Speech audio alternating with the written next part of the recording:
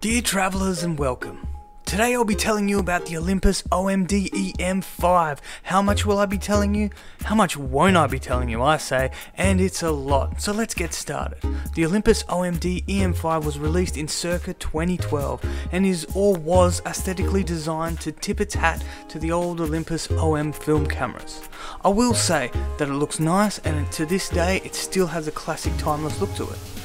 In its day, the OMD EM5 was a big deal, loaded with a flippy screen, dual top mount dials, 16 megapixel micro 4.3 thirds sensor, touchscreen, weather sealed, EVF, 9 frames per second, and possibly the best feature is the 5 axis image stabilization. What's not to love? Well, we'll get to that a bit later, but honestly, this thing is packed with features, and it's dropped its price on the second-hand market dramatically, so you can get one for next to nothing.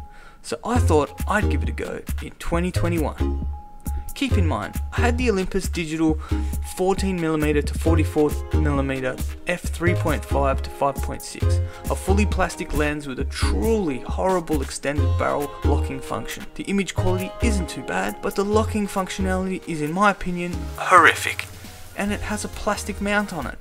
Yuck! There is some seriously expensive Olympus Pro glass available for this camera, and it covers all bases stylish metal construction and high quality M Zuiko glass.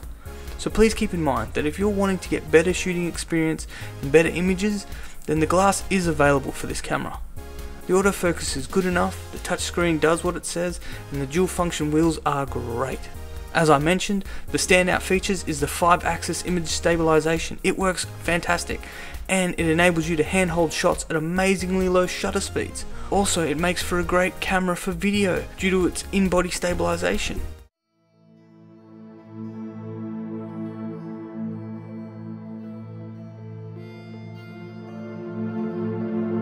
Image quality.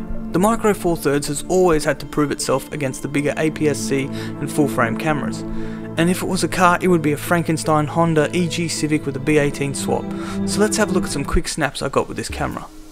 Personally, I think this camera is plenty sharp and has more than enough detail and resolution, so don't let the sensor throw you off. Yeah, it might need a little extra light than other sensors, but that's where the image stabilization comes into it.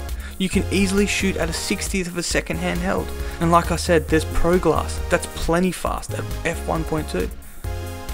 So is it worth considering in 2021? Yeah, it definitely has potential to be a solid camera that will work in any condition and provide high quality images, but it's not perfect for my needs and personal taste. If you're an Olympus fanboy, you might want to block your ears. What I didn't like about this camera, and ultimately what made me move it on within weeks of owning it, was the following. Poor ergodynamics in the hand. It has a poor feel in the hand. I really didn't like the way this camera feels in the hand. It's too small to get a good hold on it, but it's too big to be pocketable. And I've had the Pentax Q that's half its size, and in my opinion, is way more comfortable. The overall feel of this camera is very techy. It doesn't feel like a mechanical camera.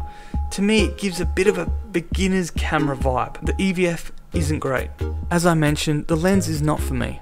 Also, once it's fully extended, it's longer than my full frame cameras. But again, the lens could always be changed, so no biggie.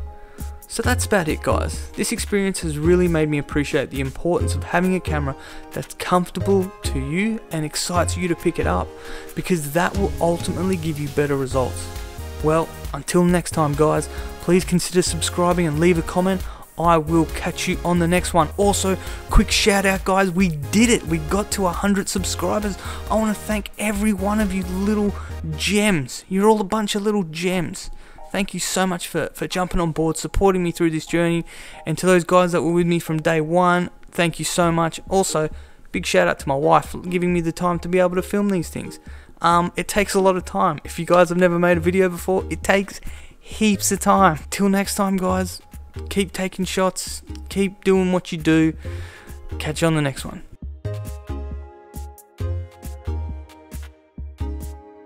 Three third sensor, 16 megapixel, 16 mega, 16 megapixels, 16 megapixel micro four third sensor, micro four third sensor.